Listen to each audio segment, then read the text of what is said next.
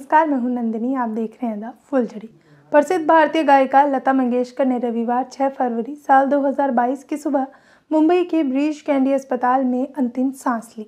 कई राजनीतिक नेता, बॉलीवुड हस्तियाँ उनके अंतिम दर्शन के लिए दौड़ पड़ी। वहीं पर शिवाजी पार्क में उन्हें पुण्य राजकीय सम्मान दिया गया। लता मंगेशकर के निधन पर देश भर में शोक की लहर छा गई। हर किसी की ज़ुबान पर उनके द्वारा गाए गए गाने आ रहे हैं। वहीं पर भारत में लता मंगेशकर की दंतियों की तरह रही। स्वर कोकिला की उपाधि उन्हें भारत के पूर्व प्रधानमंत्री जवाहरलाल नेहरू से बड़ी आत्मीयता से दी थी। मीडिया रिपोर्ट्स के मुताबिक दुनिया भर में नाम कमाने के बाद भी लता मंगेशकर का एक सपना उनके साथ ही चला गया। वह हमेशा से ही प्रिंसेस ऑफ़ डोंगरपुर का टाइटल अपने नाम के साथ देखना चाहती थी। आपको बता दें कि डूंगरपुर के राजस्थान की एक रियायती थी।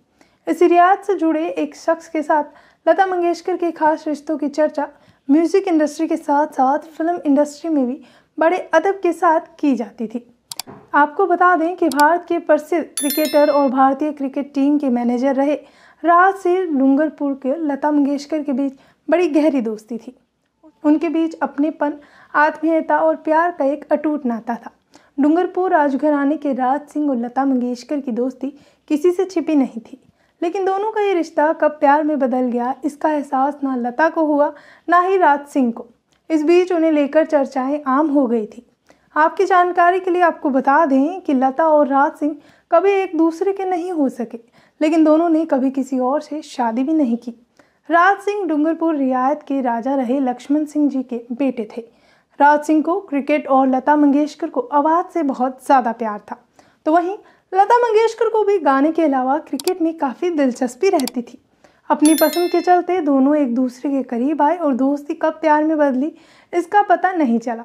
वहीं रि, मीडिया रिपोर्ट के मुताबिक तो राज सिंह ने लता सिंह की पहली मुलाकात उनके घर पर ही हुई थी। बात है सन उन्नीस सौ उनसठ की जब राज सिंह लो की बढ़ाई करने मुंबई आए थे। इसी दौरान सन उन्नीस से ही राजस्थान की रणजी टीम से वे जुड़ गए।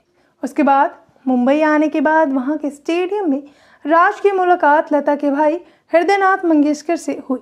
उसके बाद हृदयनाथ अक्सर राज को अपने घर साथ ले जाने लगे और ऐसे में ही राज और लता की पहली मुलाकात हुई। आपको बता दें कि कहा जाता है कि पहली मुलाकात में ही उनका झुकाव लता मंगेशकर की ओर हो गया था।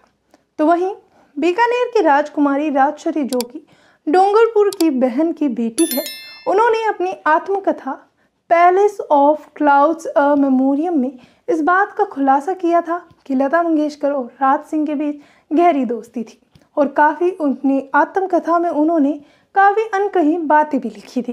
और आपको बता दें कि जानकारों की माने तो दोनों की शादी इस वजह से नहीं हो सकी क्योंकि राज परिवार इस बात के लिए बिल्कुल हामी नहीं भर रहा था कि कोई साधारण परिवार की लड़की डूंगरपुर रियायत की बहू बनी। तो वहीं राज सिंह ने तो अपने परिवार की बात मान ली और राज सिंह का परिवार लता को अपनी बहू बनाने के लिए कभी राज़ी नहीं हुआ। हालाँकि राज सिंह ने अपने परिवार की बात तो मान ली, लेकिन उन्होंने कभी किसी से शादी नहीं की। कहते हैं कि राज सिंह प्यार से लता मंगेशकर को मिट्ठू भी कहकर बुलाते थे तो वहीं पर लता मंगेशकर ने भी कभी किसी से शादी नहीं की। आज के लिए बस इतना ही। देश दुनिया की बाकी जानकारी के लिए हमारे साथ जुड़े रहें और हमारी वीडियो को लाइक चैनल को सब्सक्राइब करना ना भूलें। धन्यवाद।